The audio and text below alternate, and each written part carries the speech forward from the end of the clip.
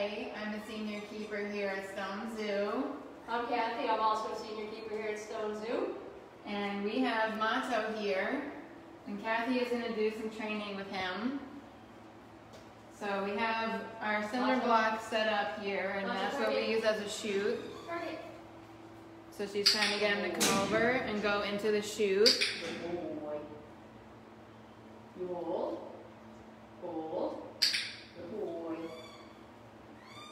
Good boy. So you can see he's kind of pressed up against the fence there, and that's pretty important for being in the chute. Because if we want to give a hand injection, we can easily stick the syringe in and give a vaccine. I'm gonna give him a nice reward once he stays still. Just sticking. Good boy.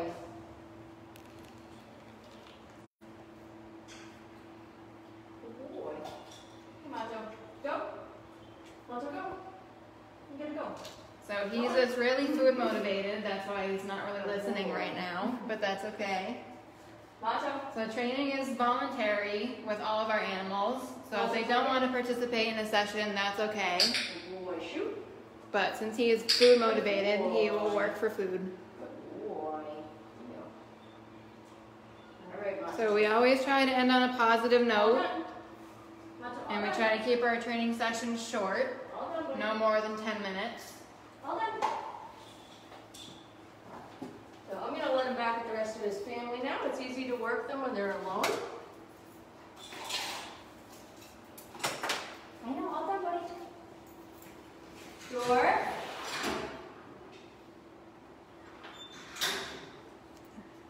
Mato.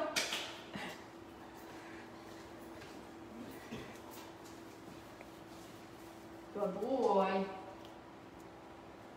There you go, bud. That's Valentia that just came in. So this is mom and dad here. Uh, Mato here came to us from Eureka, California. He's part of the SSP, the Species Survival Plan. She came to us from Prague Zoo. So they had two puppies who are coming in right now.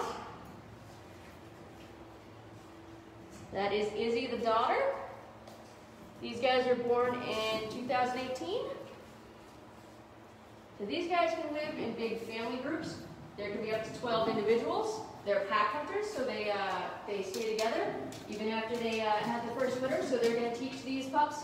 Here comes Milo now. He just came in the back. So they're going to teach these pups how to raise their next their next litter of puppies. And that way, when they go off on their own, they'll learn how to how to have their own families.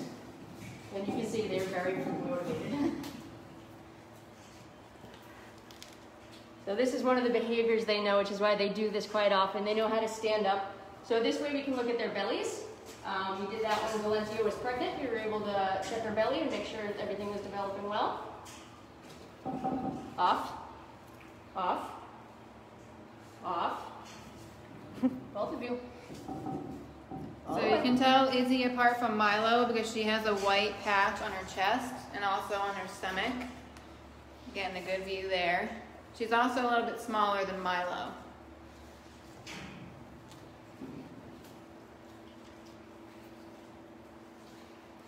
So these guys are very vocal. You might hear them make some noises. That's actually how they communicate. They live in the underbrush in Central America. If you guys have any questions, feel free to ask at any time. So these guys, they, uh, they're in the underbrush, so they listen to those sounds to uh, find each other. And if you see they have webbed feet, so let's get Valentia to stand up. You might be able to see, see their feet there. They have webbed feet, so they're actually really good swimmers.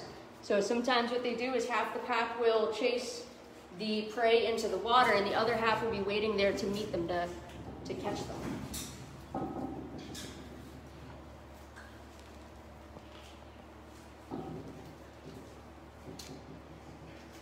So what we're feeding them right now is they're getting meat and a little bit of canine chow. And they also get mice once a week, which is their favorite snack. And they actually love toys as well. So as you saw in the back there, there's a couple of balls. It's actually one of their, their toys there. So we'll sometimes put the in the ball. Sometimes we'll give them uh, scent enrichment. They're really good with uh, different smells. Sometimes we'll give them uh, straw from another animal that they might find in their in their own habitat, like uh, the agoutis, for example. And they also love logs. They tend to drag them all around. They try to bring them into their den boxes. They're very strong.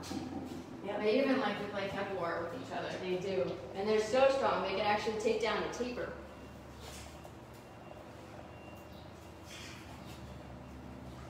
Right, so we do have some questions coming through. Um, Lynn would like to know what do they eat? So as Faye was just saying, here we give them meat, mice, and kibble. And in the wild, they'll typically eat some small mammals, birds, some reptiles. All right, Sam would like to know where is their natural habitat? It's a good question, Sam. These guys are actually from South and Central America. They like to live in rainforests, but they can also be found in grassy fields and mountains.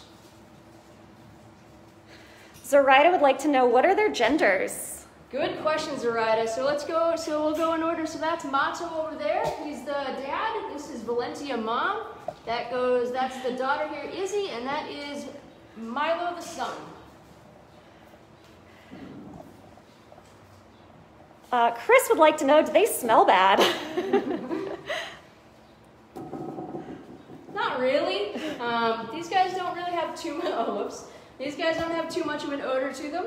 Um, they do uh, scent mark with their urine, um, but other than that, they really don't have too much of a strong odor. Matthew would like to know is it a canine? Yes, they are a part of the canine family. Their closest relatives are maned wolves. And as Cathy said before, they have different kinds of vocalizations, but one of them is not um, howling. They don't actually howl like wolves do. It's mostly high pitched yips and whistles. Uh, Kenneth wants to know how long you guys have been uh, working here. Uh, I've been here for four years. Um, I've only worked with these guys. We've had them for two years now. So Faye and I have both been their trainers for two years, and Faye. Um, I've also been here for four years. I actually started at Franklin Park Zoo. I worked there for about a year, and then I came here to work at Stone.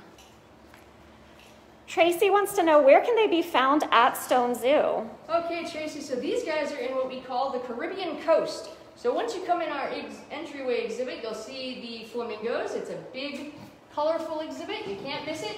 And if you follow either path on the other side of that, you will see them just beyond the, uh, just behind the flamingos.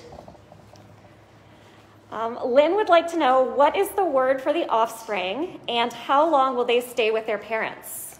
So, um, offspring are called pups, just like normal dogs, and they would stay with their uh, family for about a year, a year and a half, and that's when they would go off and start their own family. And um, ideally, in their family, there would already be uh, a couple litters of pups that were born after them, so that the older pups would get to see how to raise younger pups so that they know what to do when they have their own. And they can have anywhere between one and six pups during any litter. Nuri wants to know are they bears? no. They look quite like bears, but they're actually canines. So these guys are related to dogs. Uh, Maya would like to know how closely uh, they are actually related to the domestic dog. Uh, I'm not really sure, to be honest. Um, they're pretty close. These actually are one of the few canines that has never been domesticated. There's never been any any attempts to domesticate them. In fact, they're very rare in the wild. Um, they like to sleep in dens, so it's actually really hard to find them. Um, you could walk over a bush dog den and you wouldn't even know it. In fact, at one point they thought they were extinct um, when they found some bones in a cave in Brazil. They thought it was an extinct species, but then they found out that they were actually just all around this under, they were underground. Um, Param wants to know why they are named bush dogs. So that's because they actually live in the underbrush or the, or the bush of the forest. So what they do is they, uh, they live in where it's really thick and bushy, um, and that helps. That's where their, uh, their squealing and their scent marking really helps. So when they're trying to hunt or trying to find their dens, what they do is they, they map out the same path, so they'll run in sort of laps really, and that pats down pathways for them, and then they can scent mark to let the other dogs know where they are. All right, Lynn wants to know how old the pups are. The pups were born in November 2018, so they're about a year and a half old. Uh, Zoraida would also like to know do they usually travel in packs? Is it rare to find a lone one, like a lone wolf? So they normally will travel in packs. Uh, once the pups will set out, though, they're usually they can be found on their own until they find their own families. So they'll start out in a big family unit like this, and then when it's time for them to go off on their own, they'll go and find other lone dogs and then start their own packs. All right, and how long do they live again? They can live between 10 to 15 years. So I'll give you guys some ages. Um, Mato, the dad, he is seven years old.